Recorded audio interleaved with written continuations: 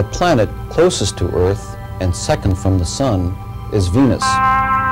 Sometimes Venus has been called Earth's twin, but the second planet is far from being our world's twin, as we will see in this program.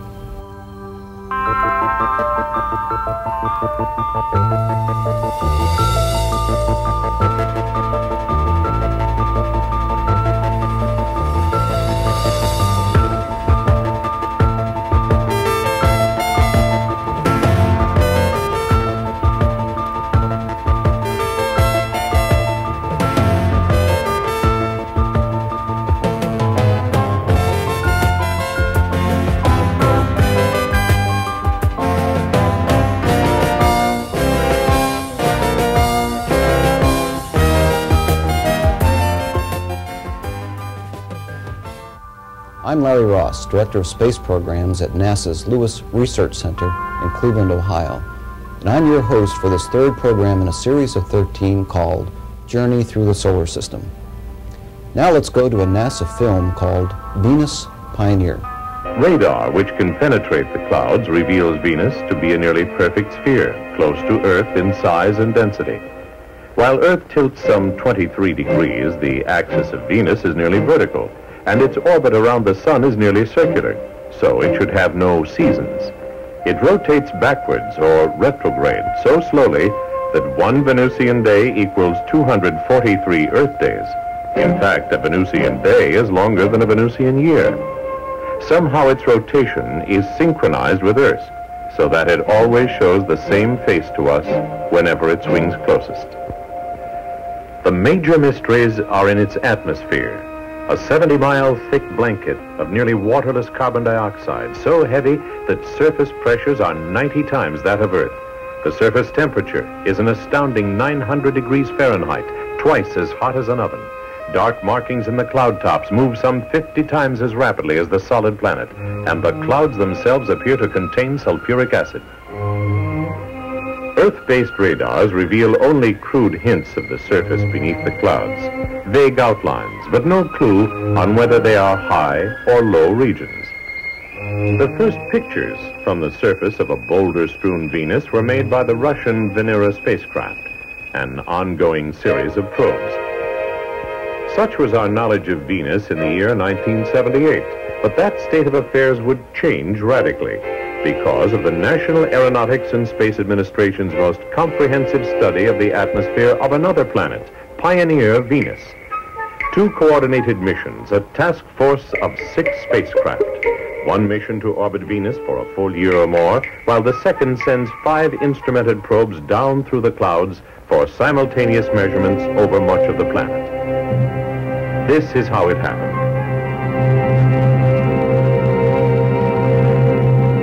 An introductory question.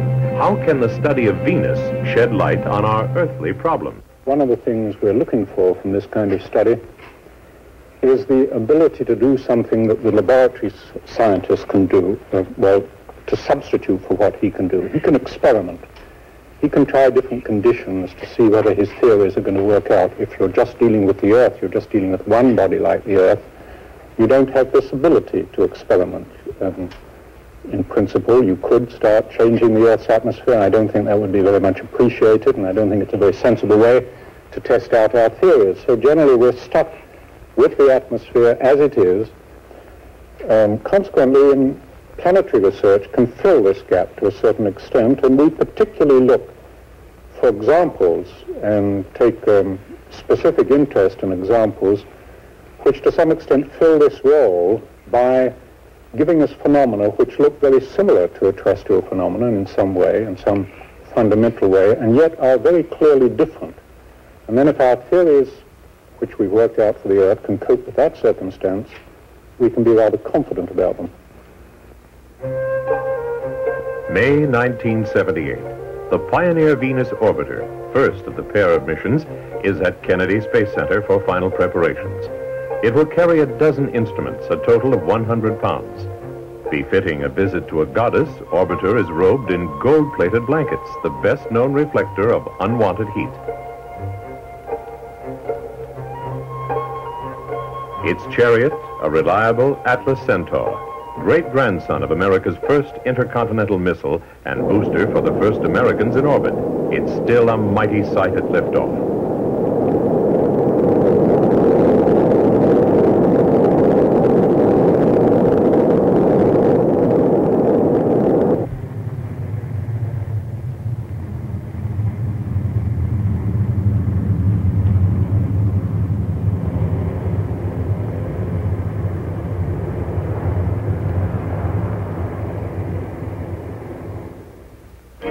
Setting off on a leisurely route to Venus, the orbiter chases its target more than halfway around the solar system, en route for more than half an Earth year.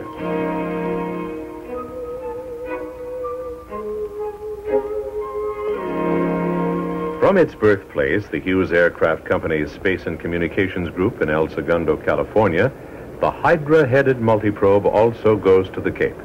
Here, in last-minute preparations for launch, it meets the press. In all, 18 science experiments ride the five parts of the multiprobe. Today, this heat shield and the so-called sounder probe instrument ball it protected lie as scorched debris on Venus. Last chance for pictures. It also carries precious cargo to Venus, including this diamond, ground into an instrument window. Diamond is the only infrared transparent substance that can withstand the heat and pressure of the Venus atmosphere. Multiprobe's turn comes the night of August 8, 1978.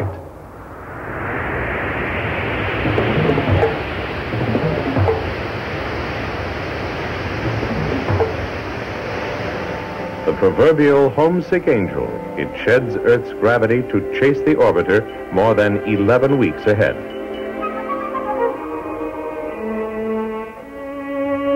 On this cosmic merry-go-round, the multiprobe takes a different route through the gravity wells to arrive at Venus only five days behind orbiter. Near the planet, it will release the large sounder probe and three small probes.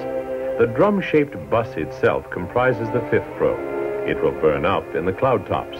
But first, the orbiter must be trapped into its proper orbit, the first moment of truth. Orders for this complex maneuver originate here at NASA's Ames Research Center near San Francisco. Within this building is the Pioneer Mission Operations Center, headquarters for this as well as all previous Pioneer space missions. ACMO, ACMO. Will you enter a base time of, of 2345 and enter Instructions go out routinely in the modern hieroglyphics that border on English, yet sound like gibberish to all but the controllers and their computers on the ground and in space. One Alpha Echo, triple zero five. One Alpha Echo triple zero five.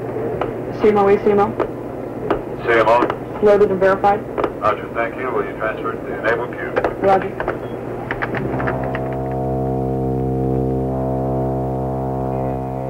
Nearing Venus and some 40 million miles from Earth, the two spacecraft listen to and heed their radio commands. The pace is deliberate, yet precise to the microsecond. On November 16, the multiprobe turns to take aim at Venus, then releases the sounder probe. All of the entry probes will maintain radio silence for nearly three weeks to conserve battery power. Will they switch on again properly? There's no guarantee.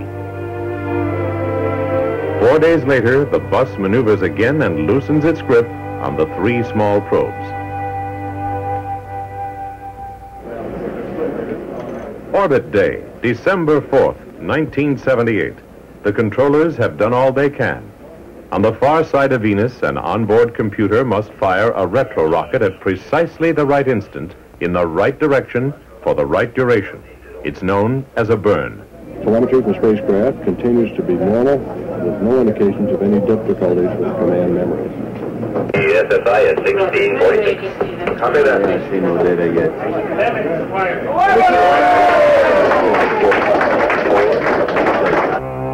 Timed for the convenience of Earthlings, the orbiter circles Venus once each 24 hours. Its low point deliberately dips into the very fringes of the atmosphere, while its long outer loop provides a vantage point for other instruments. Already, science data is flowing, and soon the first picture is returned by an American Venus orbiter spacecraft. A crescent with not much detail, but it holds promise of more and better images to come.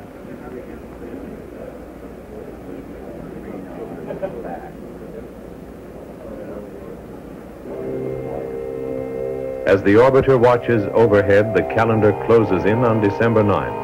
The clock counts down to the single hour during which the four entry probes will taste the Venus atmosphere, feel the heat and pressure, and chart the weather on this neighbor planet.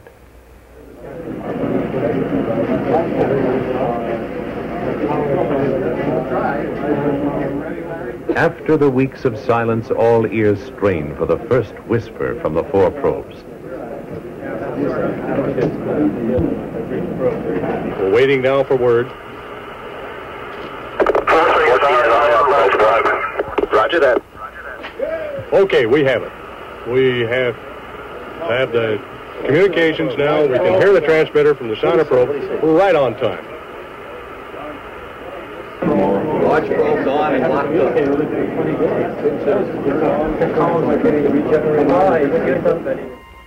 Drawn in by the Venus gravity, the sounder probe disappears into the sulfuric acid clouds. Dante's Inferno straight ahead. Past the main entry heating level, the probe sheds its heat shield and deploys its parachute. Instruments sniff the clouds, then relay their data straight home. Even as the computers spew their first inscrutable numbers, the scientists sense new mysteries and choose their words with caution. Okay, that's mass 64. Don't say that's SO2. That's peak in mass 64. Now, where's 128? Well, everything's working great. They're all coming down now. The parachute worked, and I guess we've got about 30 more minutes of uh, just drifting down very slowly. It's going to take 30 minutes to go through that soup up there, and it is soup. I think I heard it's over 300 degrees already where we are. Centigrade. Pressures are going up, but everything's working uh, just like it was planned. I don't know how we can ask for anything greater. After 17 minutes beneath the parachute, the sounder releases and free falls through the ever thicker and hotter atmosphere. Next question Will it survive the shock of landing and still send data? The probes weren't designed to, but it would be a nice bonus. Impact, probe four. impact. Yeah, they see the Roger impact. that. They've seen the impact. They were a few seconds early. No, we lost it. We lost it. Launch probe is gone. We have no more data coming in.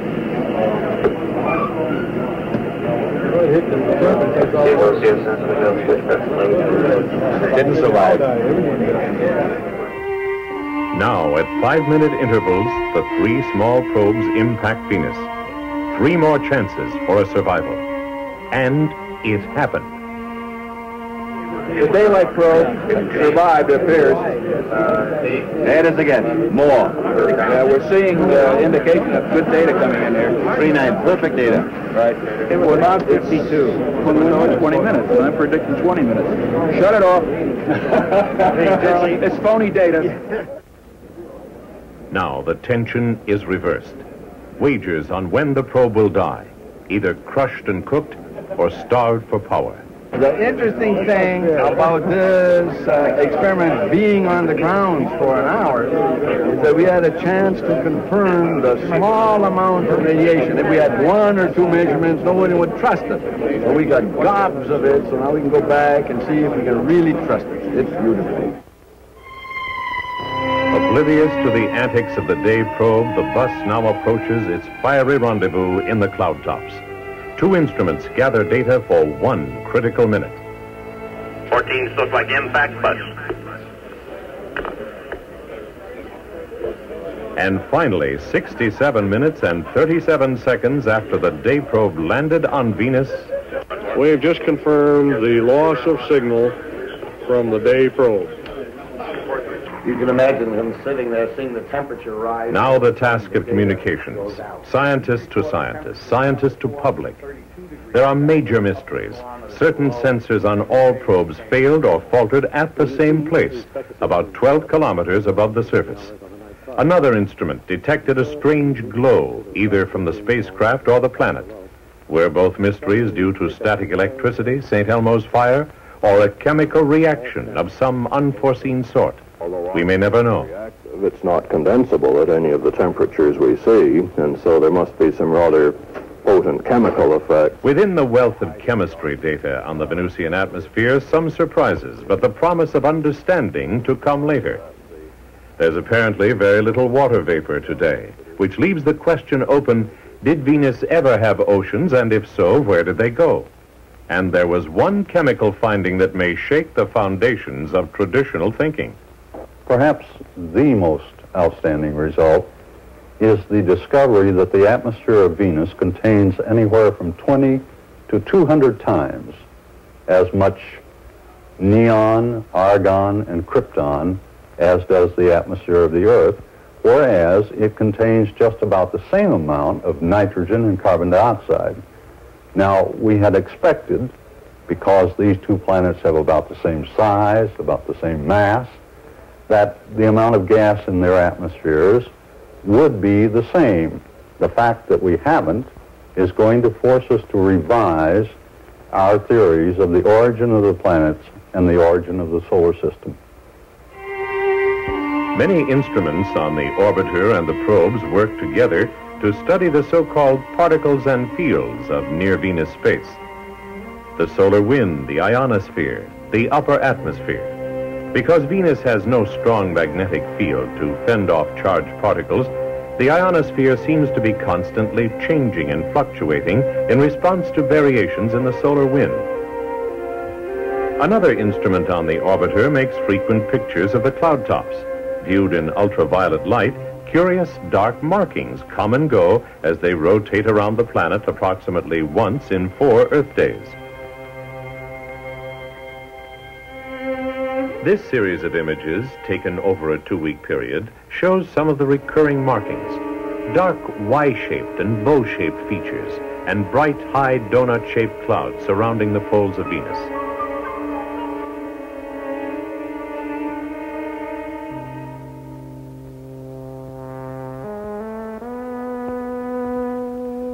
Some of the most important new information comes from sensors on the probes as they sample conditions at points thousands of miles apart.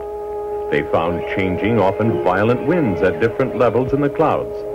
They found that most of the incoming heat from the sun is absorbed within the densest clouds, although a small amount reaches the surface.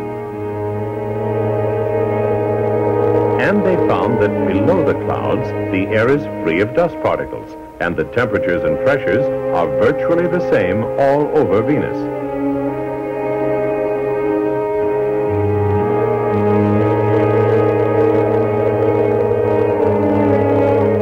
And they found a complex sulfur cycle instead of a water cycle. The clouds of Venus are made of sulfuric acid and possibly hydrochloric acid, literally battery acid. It appears to rain out of the clouds and re-evaporate as it reaches the hotter regions below. A hail of fiery brimstone, literally. By coordinating data from all the probes, mapping of at least three major cloud decks around Venus is possible. One layer is described as being quite filthy, choking acid, smog-like conditions, filled with dust particles and debris. Sound familiar? The interaction of solar radiation with smog and how it affects our weather, of course, is important on Earth, and, and Venus is an excellent laboratory for studying these kind of smog-like conditions and its effect on weather. Uh, we're not supposing at this stage that Earth is starting in the direction of Venus to become completely dominated by these smog-like materials, uh, but certainly man's activity on Earth is pushing us in the direction of more and more pollution. And uh, we'll be able to tell uh, quite accurately, I think, in the long run, uh, through the study of Venus uh, data, Pioneer Venus data in particular, the effects of this increasing pollution on our future climate and weather. On Earth, the problem of pollution has often been linked with the greenhouse effect, This trapping of incoming energy as heat was originally thought to explain completely the high temperatures on Venus. The data that we have at the present time do not uh, entirely support the greenhouse model. There seems to be more infrared radiation leaking out of the atmosphere than there is solar heating coming in. So that uh, forces us to go back and re-examine the other candidate explanation that has been available for a few years, namely the compression, compression heating of the gases as they are carried down from the cloud levels at the higher levels of the uh, atmosphere of Venus down to the surface. Now, uh, the experimental data that we've acquired uh, seem to offer another possibility, that the solar heat is absorbed in the clouds where measurements show that it is indeed absorbed, and that it drives a vigorous circulation within the clouds. This circulation then causes the flow in the lower atmosphere to be dragged around frictionally by the principal driving cell which is in the clouds. The polar region of the planet is, uh, has a, a difference uh, that is, uh, uh sets it apart from the lower latitudes in that there appears to be a, uh, a gathering of this circulation from the lower latitudes into a vortex. So we might say that there appears to be a, uh, the equivalent of a hurricane sitting on the polar caps on Venus. the central portion of this is a region where the clouds are cleared because the infrared radiometer passing overhead in orbit uh, is able to see uh, higher temperatures by looking down through these holes in the polar cloud. This is what that infrared radiometer sees. The important features are the twin bright spots or hot spots near the center. This is the first time any spacecraft has looked down on the North Pole of Venus. Apparently, we are seeing into deeper, therefore warmer layers of the atmosphere as the air over the poles rushes downward like water draining from a tub. This whole dumbbell-shaped hotspot rotates and wobbles around the Venus pole approximately every three days. A radar mapper on the orbiter charts elevation and types of terrain hidden beneath the clouds.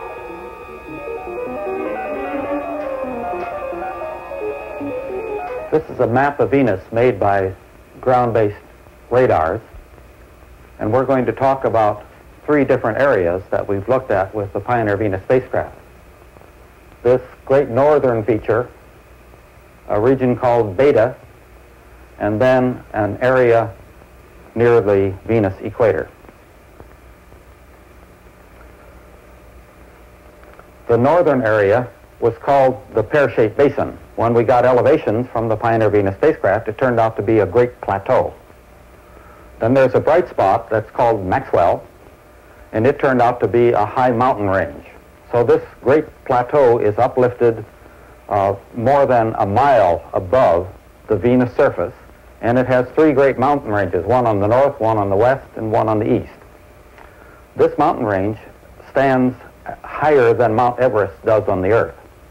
This great plateau is twice as big as the Tibetan Plateau, which is the biggest one on Earth, and it stands more than 3,000 feet higher. So this is a planetary scale feature. Just west of there is a, what we think a great fault zone that breaks the crust of Venus and extends for something like 4,000 miles. It has two great volcanoes along it. We think they're volcanoes. They have about the right slopes, and they stand more than a mile above the surrounding surface we got a picture of the surface of Venus with the radar altimeter in the so-called imaging mode. And we've been able to compare that image with the ground-based images, and they match very closely. We'll keep going and get a strip like this all the way around the surface, whereas the ground-based radars can only see a short section. The most interesting thing about this picture are the round dark spots with little bright spots in the center. We've gotten altimeter traverses across them, and they look like depressions and that means they may be impact craters. And we have impact craters on the Moon, Mars, Mercury, and the Earth. And it looks like we have them on Venus also.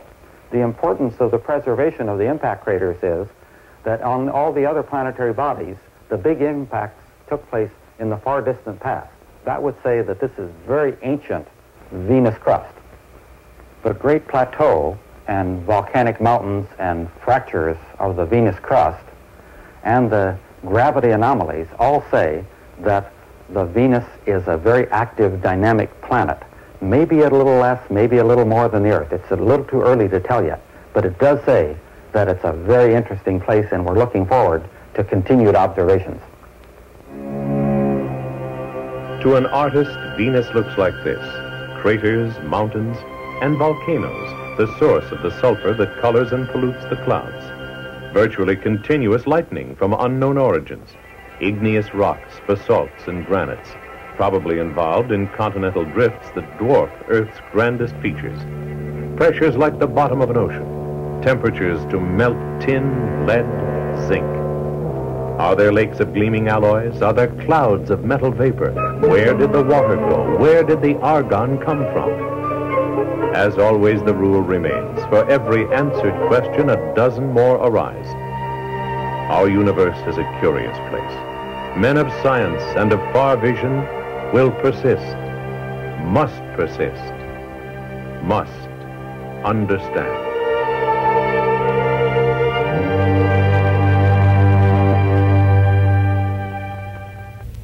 This is a photograph taken by the Soviet Venera 9 spacecraft in October of 1975.